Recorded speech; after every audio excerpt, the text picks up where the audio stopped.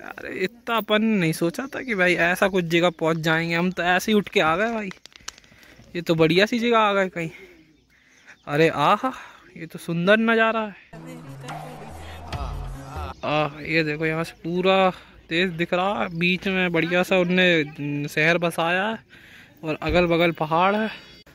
ये लो तो भाई, अब आप देख रहे हैं किला। क्या नाम था? मैं नाम भूल रहा हूँ बार बार इसका। सज्जनगढ़। सज्जनगढ़। ये सज्जनगढ़ का किला।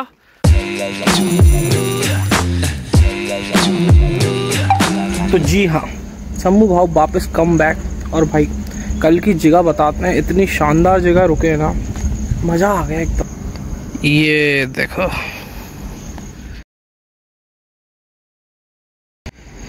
ये है अपनी जैन धर्मशाला जो कहाँ पर है, ये तो नहीं पता क्योंकि रात को मुझे नहीं पता कहाँ पर, कहाँ तक पहुँच गए थे। बस गुजरात तरफ़ जा रहे हैं हम लोग, इतना पता है।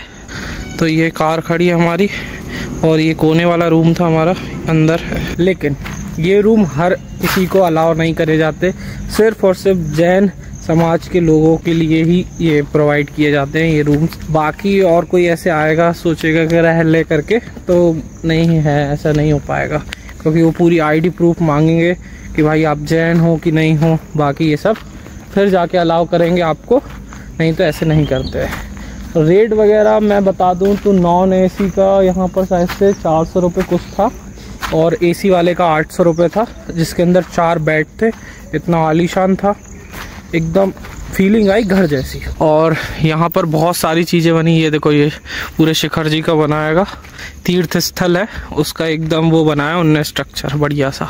तो ये देखो, पूरा सेट बनाया उनने शिखर जी का।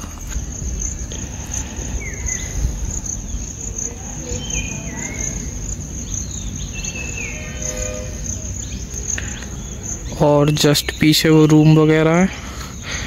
तरफ़ है रूम यहाँ पर सब महाराज जी रह रहे हैं, है ना? ये बन रहा है इस तरफ़ कुछ बढ़िया सा। हाँ ये चौबीस तीर्थंकरों के लिए चौबीस वो बनेंगे, और ये बनेगा तो इसके अंदर भी, है ना, ऐसे चौबीस तीर्थंकर पूरे रहेंगे। समझ रहे हो? और ये देखो, ये मंदिर है यहाँ पर। मंदिर में अभी नहीं जा रहा है अपन जाएँगे सब लोगों के साथ में। बाकी ये शिला है बड़ी सी। बाकी बच्चों के लिए वो वहाँ पर है ना, पूरा खेलने का बना के रखा है।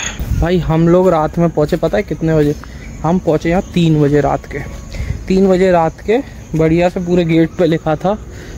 यहाँ पर रहने का पूरी व्यवस्था है। बाहर गेट पे ही लिखा था और घंटी बगल में है, घंटी बजाएँ, संपर्क करें। तो बढ़िया से घंटी बजाई। तो घंटी भी ऐसी थाली वाली बज रही थी बढ़िया सी, समझ रहा हाँ? तो ऐसी घंटी बजी बढ़िया सी और बस फिर एक बंदा आया और बस हम लोगों ने जय जनेंद किया उसको और फिर वो अंदर लेके आए हमको। फिर रूम वगैरह का बात हुई, कैसा क्या है, उनने पूरा बताया कि भाई ये इतने का, ये इतने का, ऐसे ऐसे करके। बढ़िया सा फिर वो रूम पे ले गया हम लोगों को। ऐसे बढ़िया से, ऐसे गाड़ी से घुमा के लेके गया था बढ़िया। समझ रहा हूँ? फिर अभी मैं यहाँ खड़ा हूँ, एकदम बीच उसमें। क्या बोलते हैं गैलरी गैलरी वाली मतलब एकदम सेंटर आवाज़ नहीं निकल रही तुमको पता साला ब्लॉग बनाते हैं एकदम से ऐसी कोई सी जगह पे आ जाते हैं ना तो क्या थोड़ा तहजीब में आना पड़ता है। समझ में आ रही है? हाँ नहीं तो फिर क्या अच्छा नहीं लगता ना और हर टाइम कमरिया ही नहीं कर सकते ना ब्लॉग के अंदर भी। समझते हो, थोड़ा इतना तो आता है यार समझ में। हर जगह गमरिया ही कर देंगे तो यार फिर इज़्ज़त क्या रह जाएगी अपनी? शंभू भाव की मतलब पुस्तों से आ रही इज़्ज़त को क्या करें मतलब भूल जाएगी वो तो। इसलिए। समझ रहा बढ़िया से। अभी ये सब लोग तैयार हो जाएँ, बढ़िया सा। फिर इसके बाद अपन दिखाएँगे, अंदर और करवाएँगे दर्शन।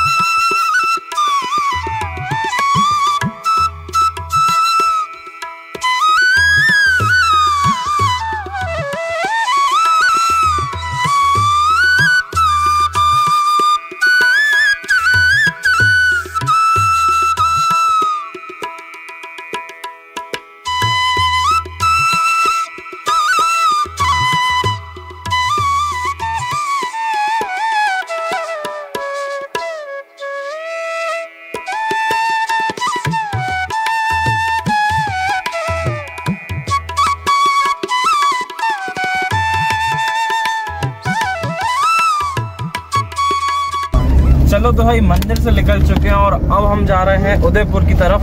तो उदयपुर पे पहुँच के वहीं मिलते हैं और वहीं